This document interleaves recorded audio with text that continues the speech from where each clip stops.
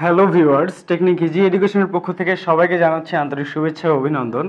আমরা আজকে একাদশ দ্বাদশ শ্রেণির জীববিজ্ঞান দ্বিতীয় পত্রের নবম অধ্যায়, মানব জীবনের ধারাবাহিকতার একটি গুরুত্বপূর্ণ টপিক নিয়ে আলোচনা করব।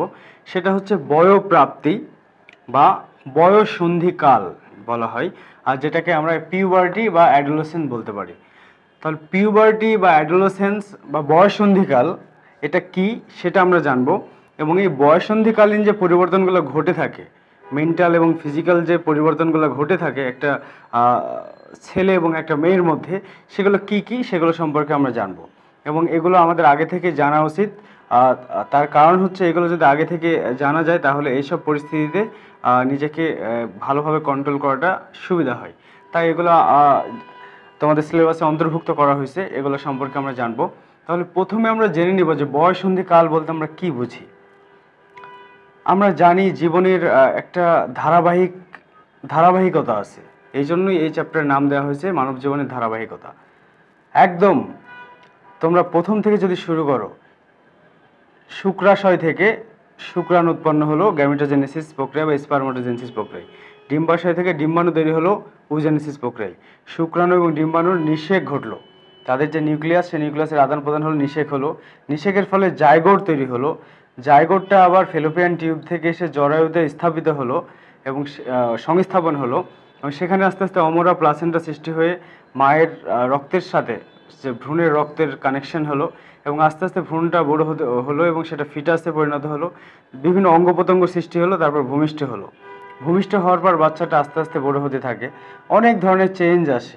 হঠাৎ করে দুই, দুইটা অর্ড বলতে পারে একসময় বাবা, দাদা এরকম বলতে পারে।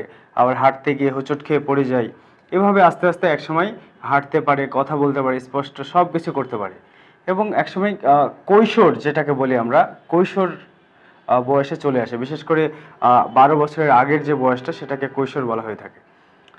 এখন এই কৈশোর অতিক্রম করে যখন যৌবনে পদার্পণ করে, এই সময় ছেলেদের এবং মেয়েদের কিছু শারীরিক এবং মানসিক পরিবর্তন ঘটে। এবং ওই সময়টাকে বলা হয় বয়সন্ধিকাল? অর্থাৎ যে সময়টাতে একটা ছেলে অথবা একটা মেয়ে কৈশোর থেকে যৌবনে পদার্পণ করে, সেই সময়টাকে বলা হয় বয়সন্ধিকাল। আর এই সময় সাধারণত সেকেন্ডারি সেক্সুয়াল ক্যারেক্টারিস্টিকগুলো বা গৌণ যে বৈশিষ্ট্যগুলো আছে, সেই বৈশিষ্ট্যগুলো প্রকাশিত হতে থাকে।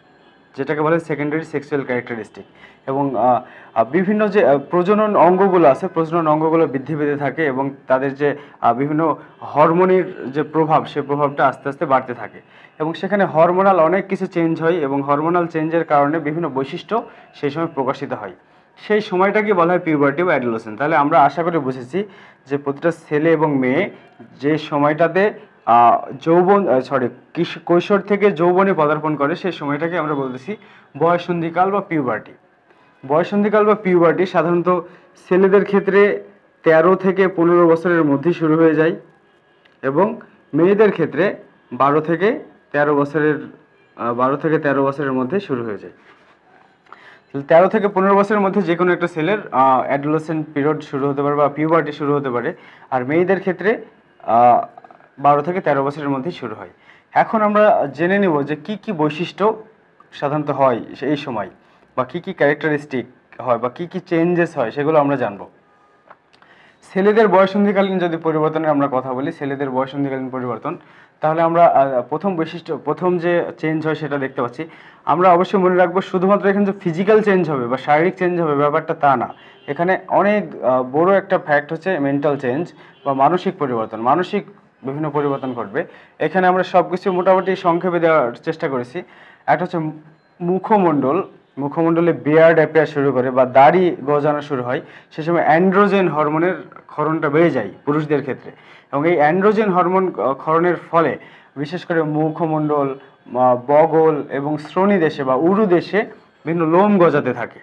তো এটা অ্যান্ড্রোজেন হরমোনের প্রভাবে এবং এটাও টেস্টোস্টেরন থেকেই খরিত হয় অ্যান্ড্রোজেন হরমোন এবং এই হরমোনের প্রভাব সরি সে টেস্টিস বা শুক্রাশয় থেকে আসে। মুখ, মুখমণ্ডল তারপরে বগল এবং শ্রোণীদেশে লোম সৃষ্টি হতে থাকে। এটা একটা যে দৈহিক চেঞ্জ সেটা হয়। পেশিগুলো বলিষ্ঠ এবং সুগঠিত হয়। ঠিক যখন কৈশোরে ছিল বা ছোটো ছিল, তখন পেশিগুলো অত বলিষ্ঠ ছিল না বা সুগঠিত ছিল না। সেটা সুগঠিত হতে শুরু করে। এবং পরে আমরা ক্যারেক্টারিস্টিকটা দেখছি, মুখ এবং পেটে মেদ সঞ্চিত হয়। হঠাৎ করে ফেস এবং পেটের দিকে মেদ সঞ্চিত হওয়া শুরু করে এবং ত্বকের নিচে যে গ্রন্থিগুলো আছে সেবাসিয়াস গ্ল্যান্ড এই সেবাসিয়াস গ্রন্থির কার্যকারিতা অনেক বেড়ে যায় এবং অনেক ক্ষেত্রে সেবামগুলো ঠিকঠাক বের হতে না পেরে স্ফীত হয়ে সেখানে মুখমণ্ডলের মধ্যে ব্রণ সৃষ্টি করতে পারে এবং এই সময় ব্রণ দেখা যায় অনেক ক্ষেত্রেই। এবং কণ্ঠস্বর সাধারণত অনেক বাচ্চাদের কণ্ঠস্বর অনেক অনেক সুমধুর থাকে, বিশেষ করে খুব মিষ্টি কথা থাকে। কিন্তু যখন অ্যাডোলেসেন্ট পিরিয়ড আসে বা বয়সন্ধিকালীন পরিবর্তন ঘটে, তখন হঠাৎ করে কথাগুলো ভারী, গাঢ়, কেমন খসখসে গম্ভীর হয়ে যায় কথাগুলো।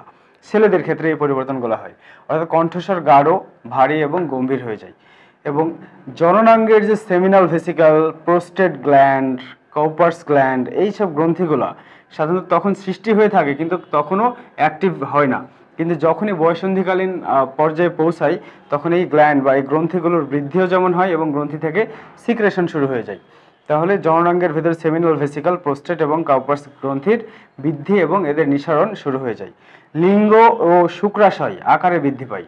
শুক্রাশয় বা টেস্টিস যেটা, যে স্কোটামের মধ্যে থাকে, দুটো টেস্টিস আমরা আগের ক্লাসে আলোচনা করেছি এবং লিঙ্গ যেটাকে লিঙ্গের যে বিভিন্ন অংশ আছে সেটা আকারে বৃদ্ধি পেতে থাকে এবং বীর্যপাত শুরু করে। হঠাৎ করে বীর্যপাত হওয়া শুরু হয়। এবং এটা এটার মাধ্যমেই যে বুঝতে পারে সে ছেলেটা যে সে অ্যাকচুয়ালি অ্যাডোলেসেন্ট পিরিয়ডের মধ্যে দিয়ে যাচ্ছে বা পিউবার্টির মধ্যে দিয়ে যাচ্ছে। এবং অপোজিট সেক্সের প্রতি আকর্ষণটা বৃদ্ধি পায়, অজান্তেই। আগে অপোজিট সেক্সের প্রতি কোনো ধরনের আকর্ষণ বা কোনো কিছু ছিল না, কিন্তু হঠাৎ করেই মেয়েদের প্রতি একটা আকর্ষণ বেড়ে যায়।